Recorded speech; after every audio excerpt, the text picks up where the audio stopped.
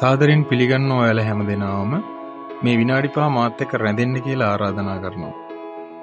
අපි අද කතා කරන්න යන්නේ උත්තරද්‍රවයේ ආර්ටික් ප්‍රදේශයේ පැරණිතම සහ ඝනකම් මුහුදු අයිස් වලින් 95ක් දැනටමත් දිය වෙලා කියන එක ගැන.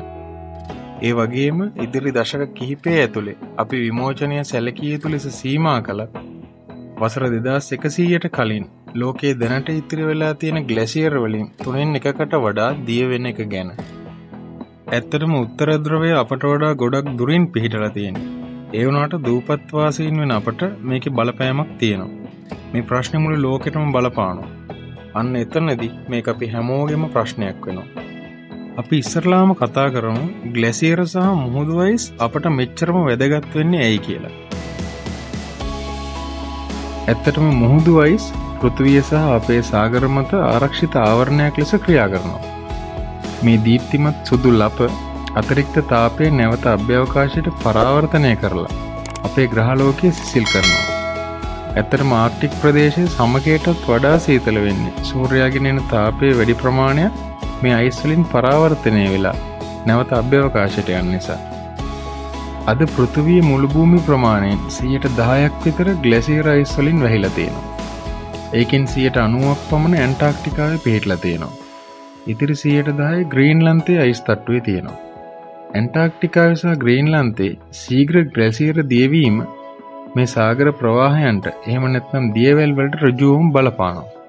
ඒ ඇයි කියනවනම් ඊටමත් සීතල ග්ලැසියර් දියවෙන ජලය උණුසුම් සාගර ජලයට ඇතුළු වන සාගර ප්‍රවාහ එහෙම නැත්නම් දියවැල් ඊටා මන්දගාමී වෙනවා.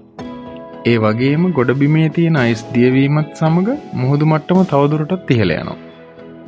ඒ එක්කම මුහුදු අයිස් සහ ග්ලැසියර් අතර තියෙන වෙනස ඔබ දන්නවද?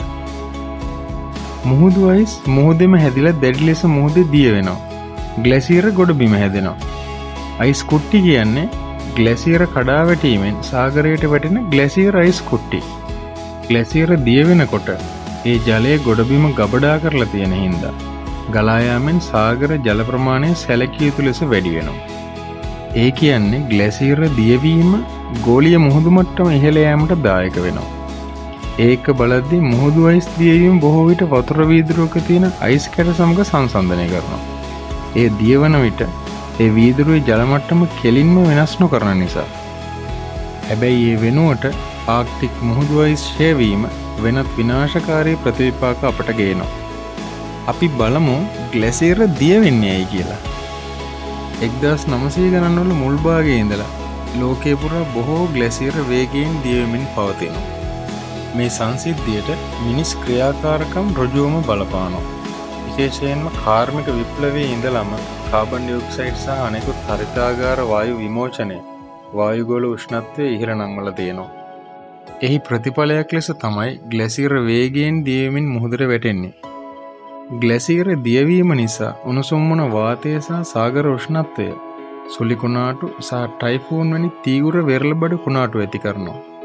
ඒ වගේම ගෝලිය මුහුදු මට්ටම ඉහළ යාම නිසා වෙරළ කාදිනය සීග්‍ර ලෙස ඉහළ යනවා. ඇත්තටම ඒක අපි වගේ දූපත් රාජ්‍යයන්ට විශාල බලපෑමක් එල්ල කළ හැකි. මේ වෙනකොට ග්‍රීන්ලන්ත අයිස් තට්ටුව දෙදස් තුනට වඩා හතර ගුණයක වේගෙන් අතුරුදහන් වෙමිනුවි තියෙන්නේ. භයානක ලෙස ග්‍රීන්ලන්තයේ සියලු මයිස් දියවුණොත්. ඒක ගෝලිය මුහුදු මට්ටම අඩි විස්සක් විතර ඉහළ නංවන්න පුළුවන්. ඒ වගේම පෘථිවිය උෂ්ණත්වය ඉහළෙන නිසා ලෝකයේ හදවත ලෙස හඳුන්වන ඇමර්සන් වැනි වනාන්තර ලැව්ගිනි හේතුවෙන් විනාශ වෙනවා.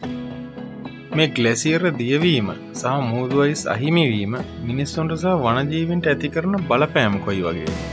ඇත්තටම මේ ස්ථානවල සිදුවන විනාශයට මුළු ලෝ පුරාම ප්‍රතිපාක තියෙනවා. මේ මුහුදු අයිස් සහ ග්ලැසියර දියවී සාගර උණුසුම් වන විට සාගර ධාරා ලෝපුරා කාලගුණ රටාවන්ට බාධා පමුණුවනවා.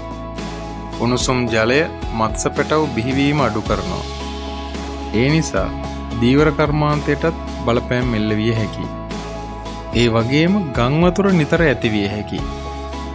කුණාටු වඩාත් දරුණු වන නිසා වෙරලබඩ ප්‍රජාවන් ආපදාවලට ගොදුරුවීමේ ඉඩකඩ වැඩි.